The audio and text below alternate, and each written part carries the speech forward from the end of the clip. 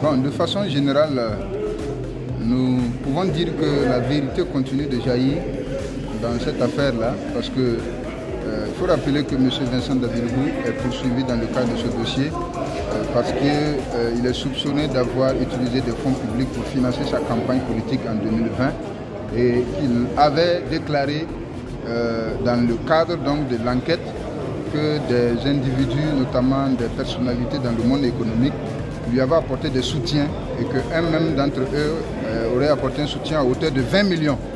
Donc aujourd'hui, ces personnes ont comparu en personne devant le tribunal pour euh, dire haut et fort ce qu'il en a été effectivement. Euh, vous avez pu suivre avec nous qu'il euh, n'en était rien effectivement parce que simplement M. Davilgou estimait que en les évoquant, ces personnes viendraient par sympathie témoigner pour lui. Bon, c'est ce que nous pensons parce que nous ne croyons pas que ces personnes craindraient quelque chose en disant qu'elles n'ont pas soutenu alors qu'effectivement elles avaient soutenu. Euh, nous donc, ces gens ont dit la vérité. Par rapport aux entreprises, euh, euh, ce n'est pas que les entreprises, parce qu'il y a aussi, effectivement oui, c'est les entreprises de façon générale, notamment l'entreprise de l'Indien, New Horizon International, qui a vendu environ une trentaine ou 36 motos à, la requête de M. Dabilbou et chose qu'il a toujours nié, alors même que euh, les échanges existent à travers donc, le traçage des conversations qui ont eu lieu entre euh, celui qui a comparu au compte de la société et M. Dabilgou.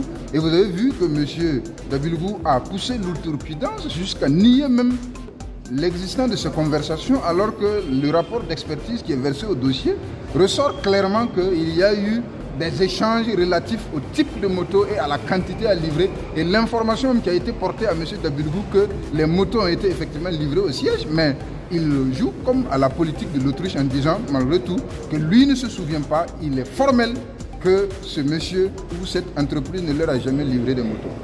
Donc nous, on ne peut pas les obliger.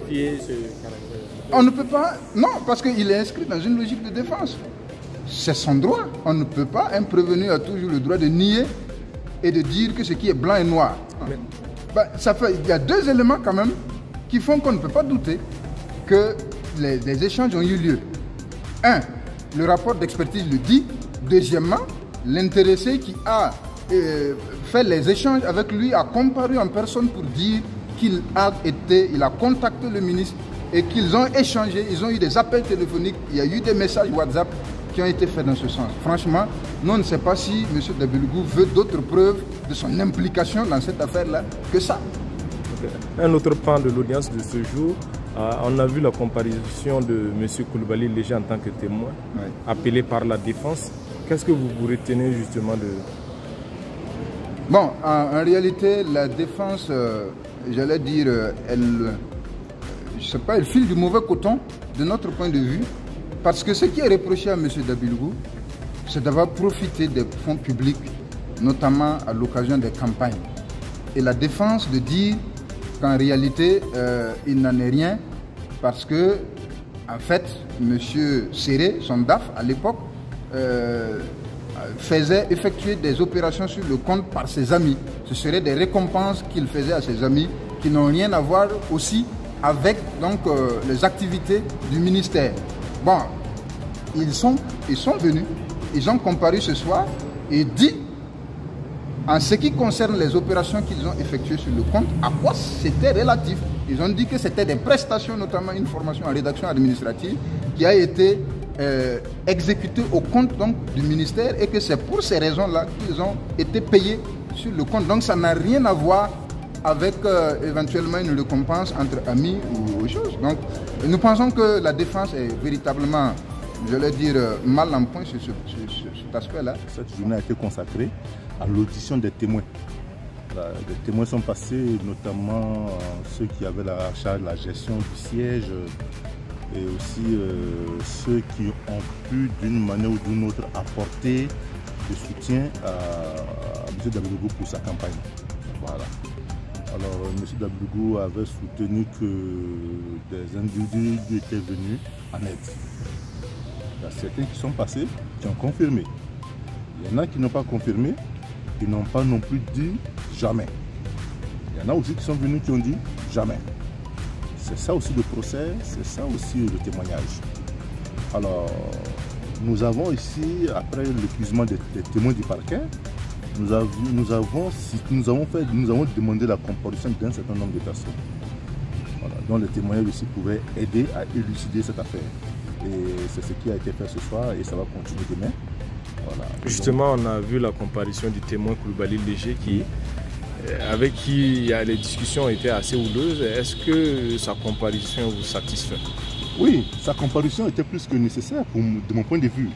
Parce que si vous avez souvenance, euh, le prévenu serré avait soutenu quand j'ai fait, j'ai donné, j'ai produit la pièce, le nombre de, j'ai produit un lot de pièces où il ressort qu'il avait des sociétés avec des gens.